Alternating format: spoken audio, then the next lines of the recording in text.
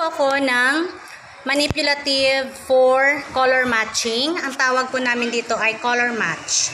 Meron kaming materials na color wheel. Meron kami mga clothespins kung saan nakadikit ang iba't ibang fruits, vegetables, and other objects na may different colors to correspond the colors in the color wheel. So, ang gagawin ng bata, ikiklip po sa corresponding color na nasa color wheel yung kanilang hawak na clothespins. Start tayo kay Cedric.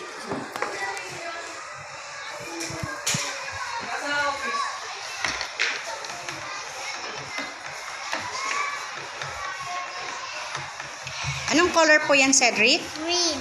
Ano-ano po yan? Apple, pakwan, avocado. Very good. Si Raven.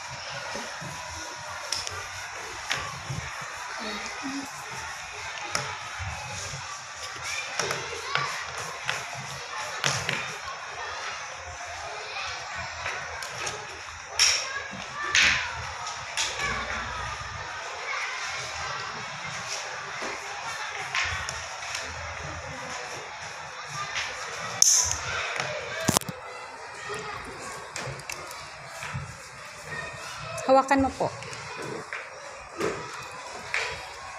Yan. Anong color po yan? Yellow. Yellow. Ano-ano po ba yan? Ano po lakasan po? Saging, Lemon. lemon, Peras. peras. Anong color po ulit? Yellow. Yellow. Si Zian.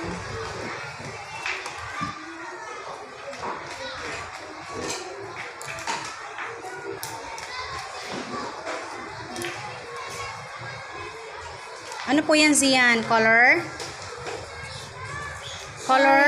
Ano po? Orange. Orange. Ano-ano ba yung mga yan?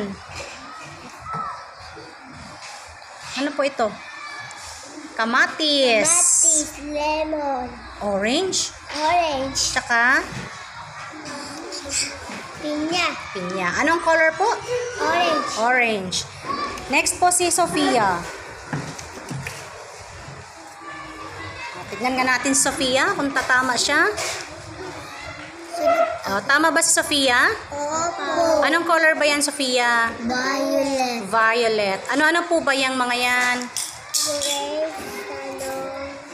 Mangosteen. Color?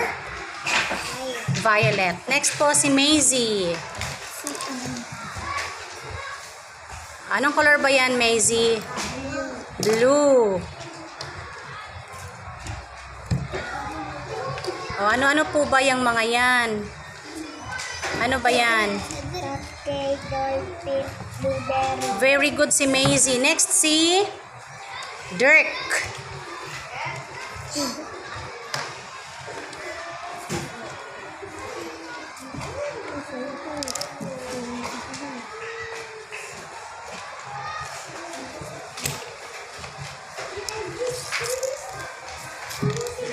Ayan. Ano po yung kulay na yan, Dirk? Anong kulay? Red. Ano-ano yung mga yan? strawberry, Cherry. cherry, apple. Apple. Ayan. So, ganito po ang paglalaro ng color match. So, dito po, nade-develop din po nila ang kanilang fine motor skills. So, nakita nyo naman po kanina, medyo nahirapan silang mag-clip ng mga clothespin. Ano ang tawag dito, Kinder? Color match.